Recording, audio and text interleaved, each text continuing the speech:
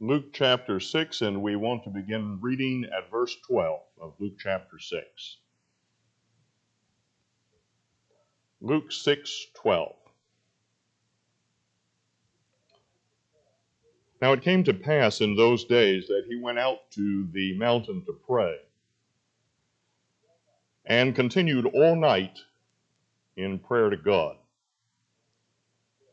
And when it was day, he called his disciples to him, and from them he chose twelve, whom he also named apostles Simon, whom he also named Peter, and Andrew his brother, James and John, Philip and Bartholomew, Matthew and Thomas, James the son of Alphaeus, and Simon called the Zealot. Judas, the son of James, and Judas Iscariot, who also became a traitor.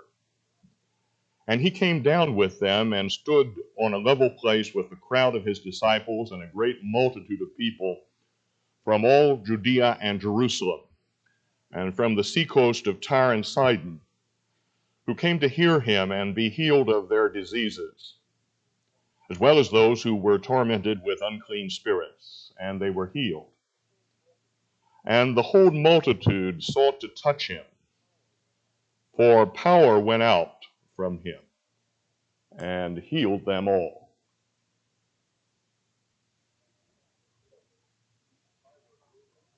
If I were gazing into my crystal ball this morning, I might make the following prediction about many of you. I might say, I see a turkey in your immediate future. And since this is the best week of the year to talk turkey, I thought I would begin this morning by giving you some very valuable information about that very wonderful and delicious creature.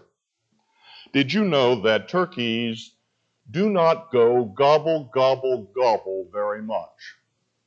What they do mostly do are a bunch of unspellable clucks, squawks, yelps, clicks, purrs, and whistles, which are largely unpronounceable uh, by ordinary human beings. But there are some very extraordinary people around, and some of them can come very close. I mean, they can come very, very close to sounding like a wild turkey. And would you believe that one Friday just this past February, 50 of those people gathered at the Registry Hotel in North Dallas? And each of them wanted to become the Grand National Wild Turkey Calling Champion.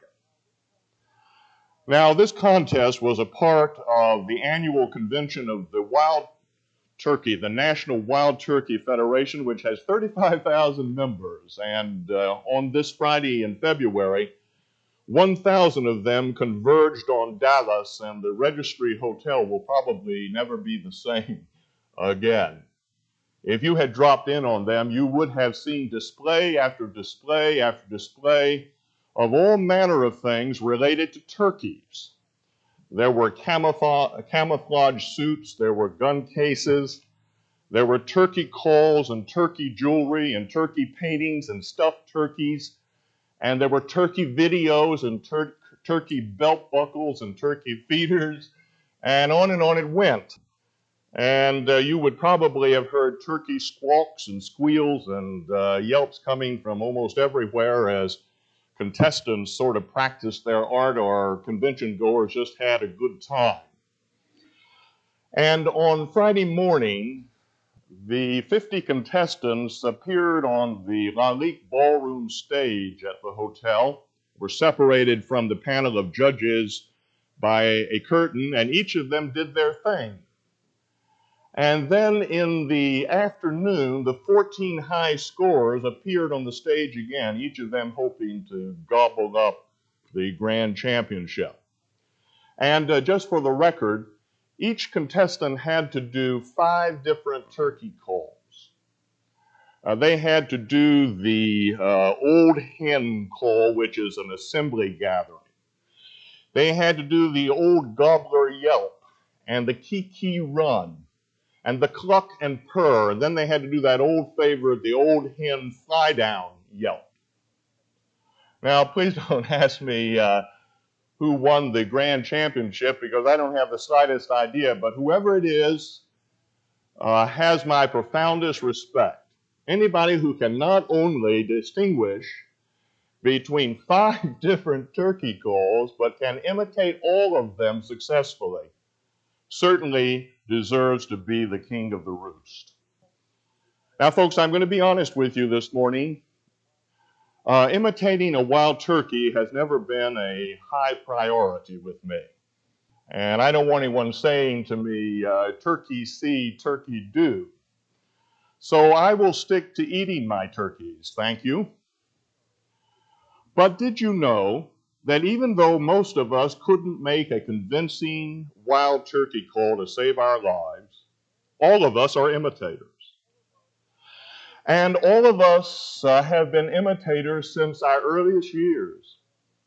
Is anybody in this audience who has never tried, and in fact, frequently tried to imitate members of your family, or your friends, or your teachers at school? Poor teachers, they are subject to all kinds of imitations. I ought to know I was one. And uh, haven't you tried to imitate some of the celebrities that you see on TV? And if I were to introduce one of the church's great celebrities this morning by saying, Here's Hannah. you don't know who I was imitating.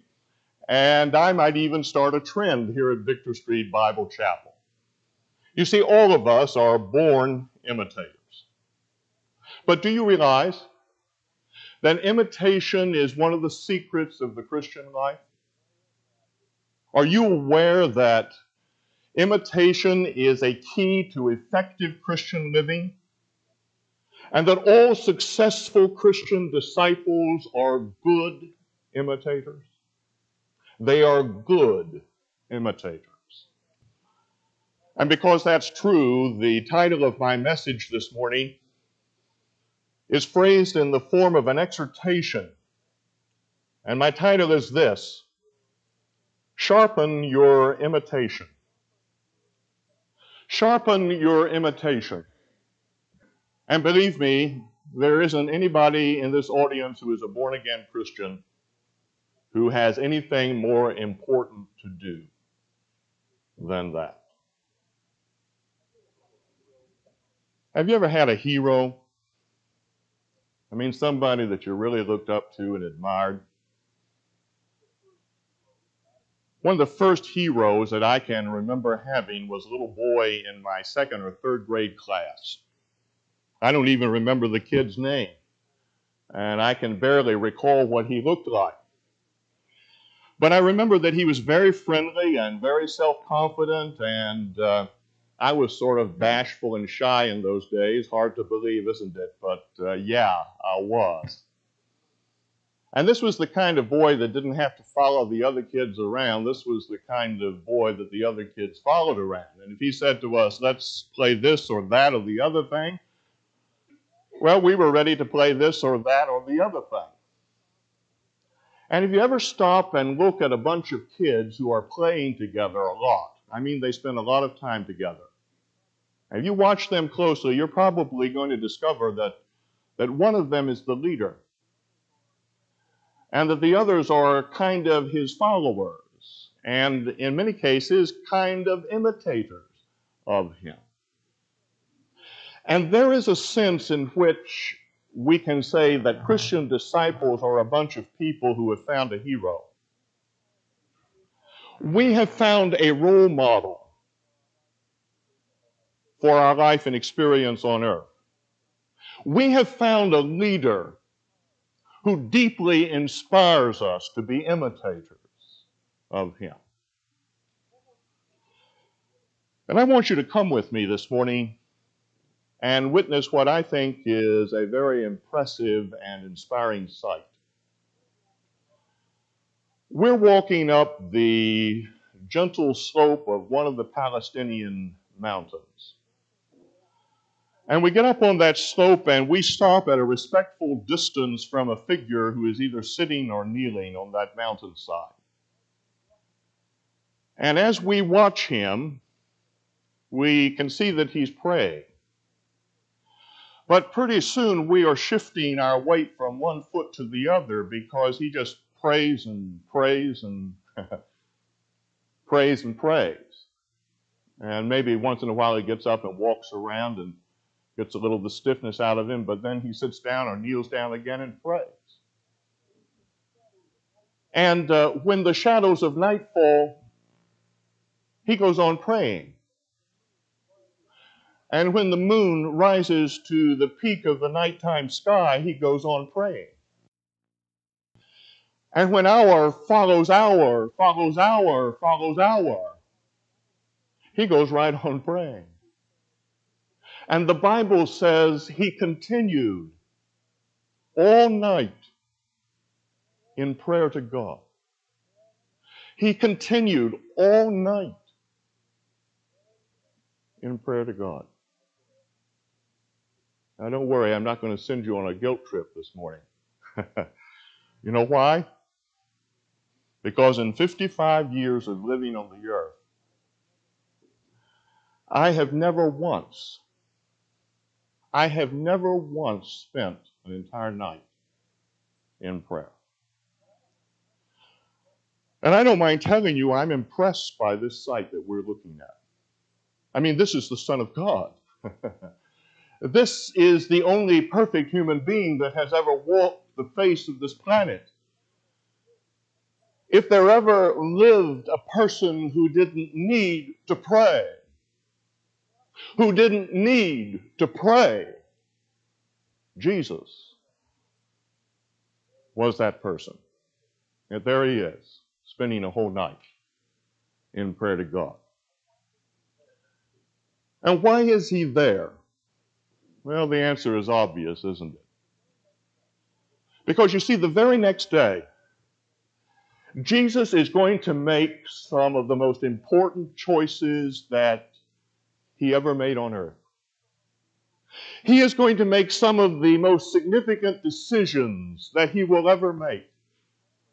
Because out of his large number of disciples, he's going to choose 12 men who will be the foundation of his church and who will pick up where he leaves off after he dies and goes back to heaven. And on the very next day, he's going to start pouring himself into those 12 men in a special way. And he will preach on the next day a message which is one of the greatest sermons that has ever been preached. And it was for their benefit, particularly and we call it the Sermon on the Plain. And don't you see that before these critical decisions, before these significant events, Jesus spends all night in prayer to God. And don't you see it? This great teacher this role model for all of his followers is a person who is profoundly dependent on God through prayer. He is profoundly dependent on God through prayer. And did you know this? That the history of the Christian church is filled with the names of illustrious men and women who have been his imitators, who have likewise depended deeply on God through prayer. In the early years of our nation, a stranger was at Congress and he asked someone how he would be able to recognize George Washington. And this is the answer that he got. He said, You will be able to easily recognize George Washington when Congress goes to prayer. Washington is the gentleman who kneels. When King William IV of England died, there was a young girl spending the night in the palace. They awakened her to tell her that the king was dead and that she had now become the Queen of England. As soon as this young girl heard these words, she dropped to her knees and she prayed to her heavenly Father that he might guide and help her through all the years that lay ahead. And he did. Because she reigned for 64 years over the land of England in one of the greatest periods of its history. And her name, of course, is Queen Victoria. Fanny Crosby was blinded uh, in infancy, but throughout her life she had the habit of greeting strangers and friends alike with a cheerful, God bless your soul. By her own testimony, she never wrote a hymn without first dropping to her knees and asking God for help. And she must have spent a lot of time on her knees because Fanny Crosby wrote about 8,000 hymns.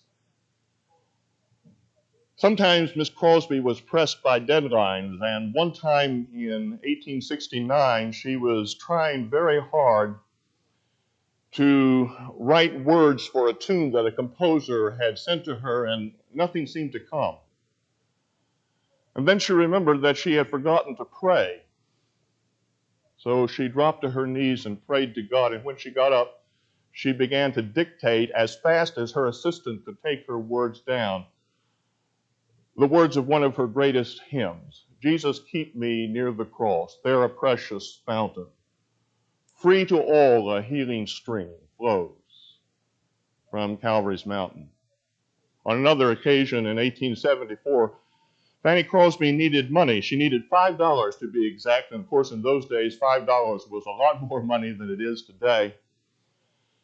And she didn't have time to draw on her publishers.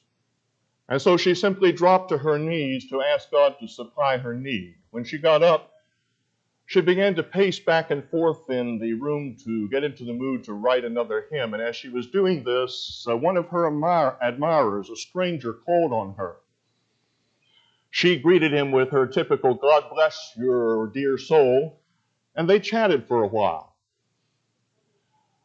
But in the parting handshake, this stranger pressed something into Fanny Crosby's hand. And of course, it was $5.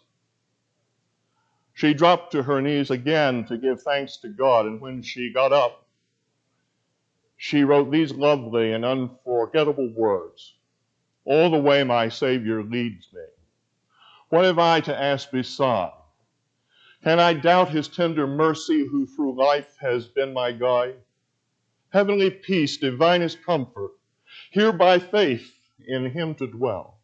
For I know whatever befalls me, Jesus doeth all things well. For I know whatever befalls me, Jesus doeth all things well. And dear, dear Christian friends, that's what the imitators of Jesus Christ discover. They discover that when they depend on God through prayer. That God leads them, that God guides them, that God helps them, and that He doeth all things well.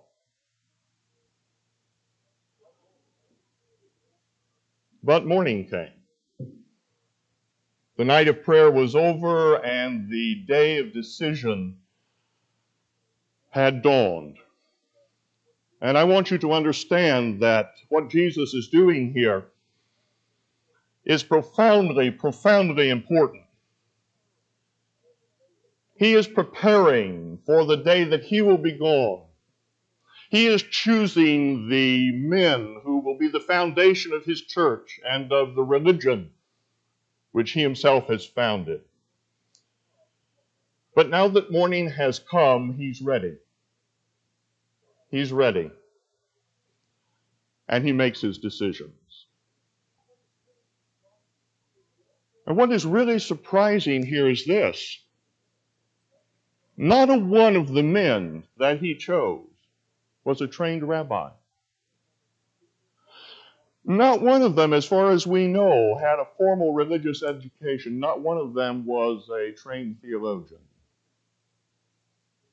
There were four fishermen Peter and Andrew and James and John. There was an ex tax collector named Matthew. There was a man who apparently belonged to one of the Jewish independence movements uh, because he is called Simon the Zealot.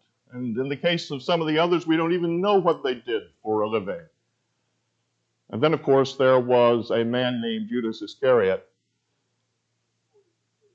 who became the most notorious traitor in all of human history. What a motley crew this is. What an utterly unpromising collection of men to carry on a religion. And yet, in the hindsight of 1900 years, these choices look better and better. For using these men, the Christian faith spread all over the globe. And mark it. This morning, there are millions and millions of born again members of this religion who are on this day of the week worshiping God from east to west and north to south. What a tremendous selection this was. And even Judas, even Judas played his role in the purposes of God, and his tragic career has been a lesson and many lessons to the church ever since that day. Don't you see it?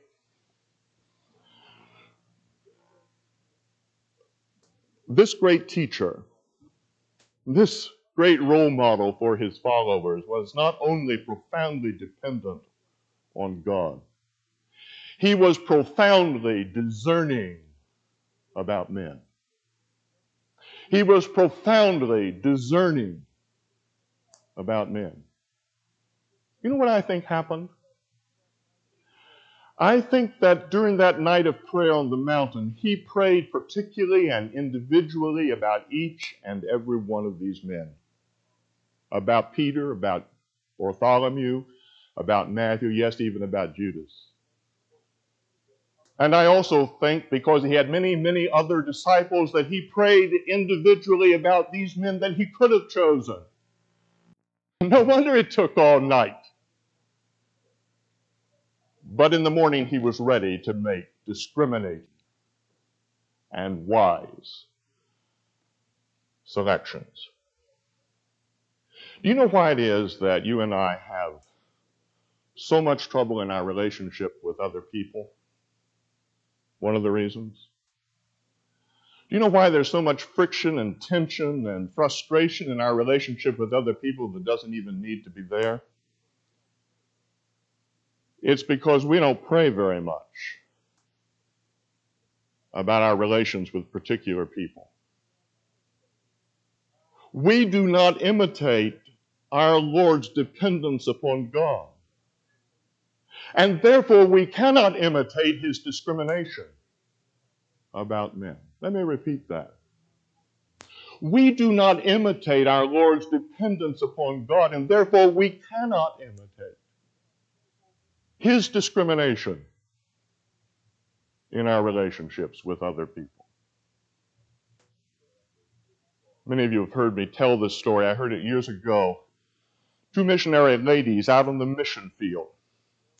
And they were getting along together very poorly. it happens even on the mission field.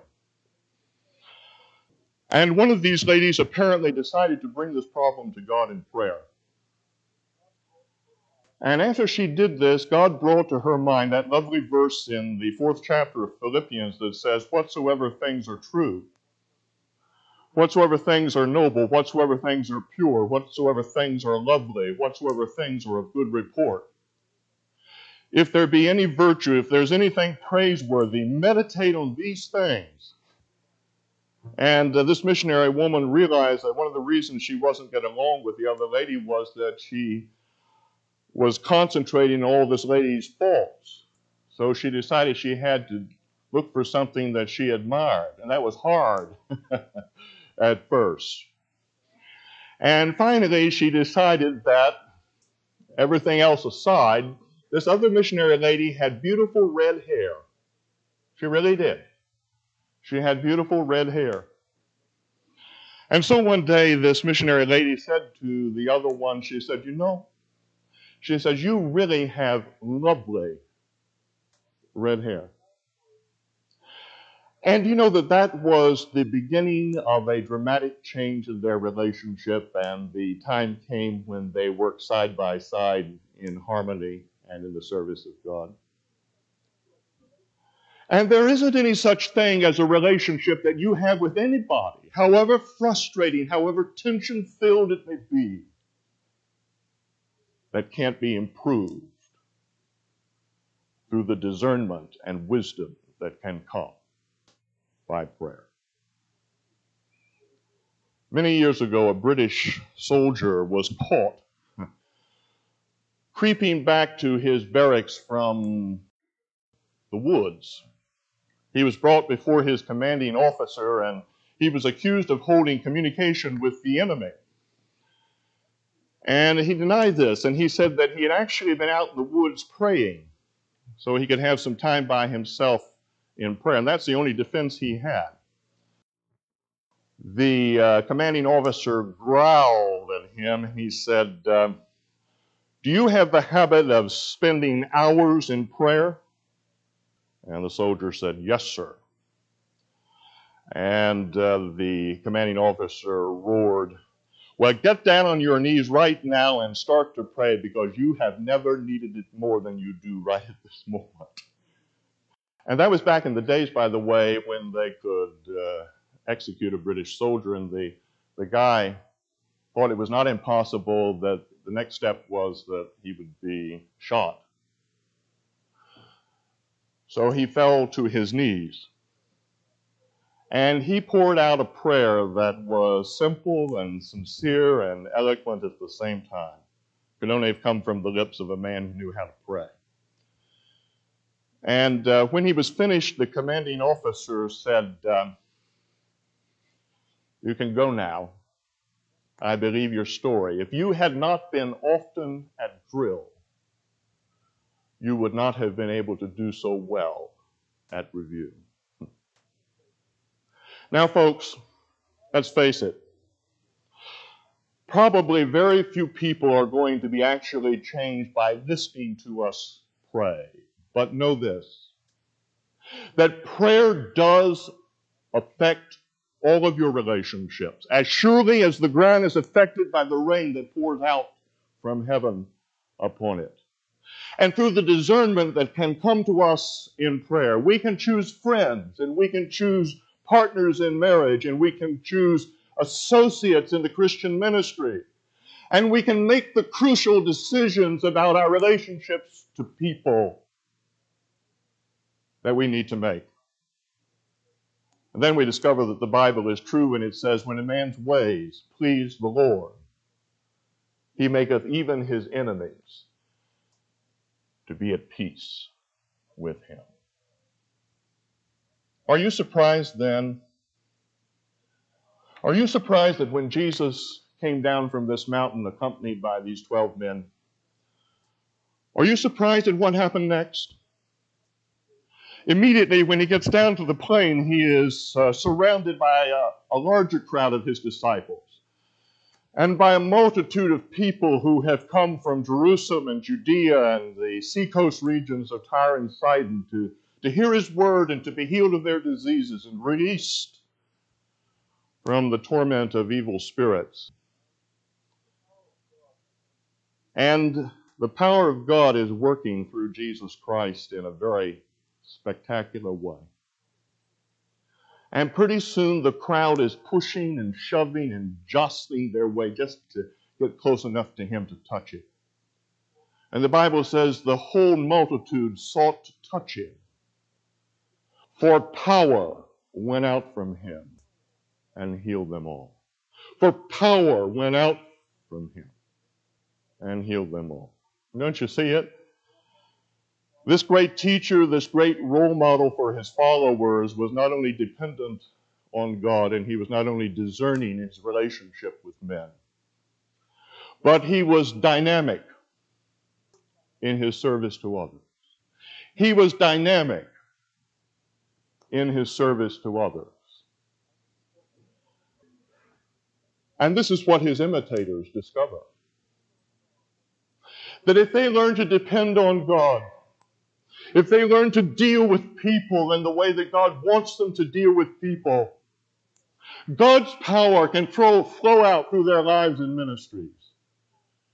And that power can perform even greater healings than we read about here. So that unsaved people are freed from their sin as they are led to trust Christ for eternal life. So that the dirt that clings to the feet of our fellow Christians can be cleansed away by Christians who humbly and lovingly are willing to wash it away with the water of the Word. And is it any wonder that in the sermon that followed, Jesus spoke these crucial words? He said, A disciple is not above his teacher, but everyone who is perfectly trained shall be like his teacher. Everyone who is thoroughly trained shall be like me. And if you let the Lord Jesus Christ train you, that will be the result. You will be his imitator.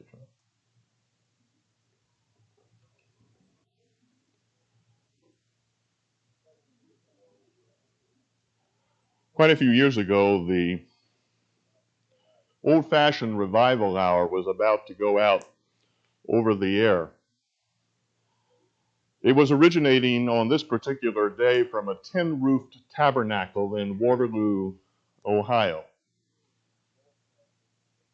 Just before the broadcast was to begin, a heavy, heavy rain started coming down, and you know how rain sounds on a tin roof.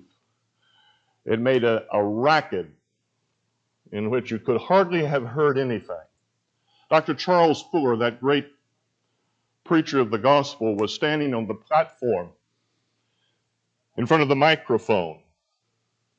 And out of what was obviously a rich experience of prayer to God, he prayed in front of everybody this prayer Lord, if you don't stop this rain, the old fashioned revival hour won't be able to go out. For Jesus' sake, Please stop the rain. That was his prayer. Within three minutes, the rain had stopped. The broadcast went out uninterrupted. And five minutes after the broadcast was over, a torrential downpour began again on the roof of that tabernacle. And that's the bottom line, isn't it, folks? Prayer isn't just a nice religious exercise that we engage in. Prayer expresses our dependence upon God, our need for His discernment as we relate to people, our urgent reliance upon His power to work in and through us. Do you get the picture? Does it come to you a little bit clearer now? Well, if so, Here's my advice sharpen your imitation. Sharpen your imitation of Jesus Christ. Shall we pray?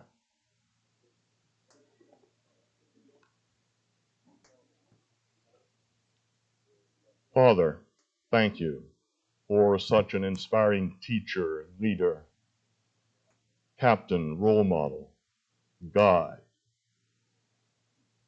Teach us to be much more like him than we are. We ask this in Christ's name. Amen.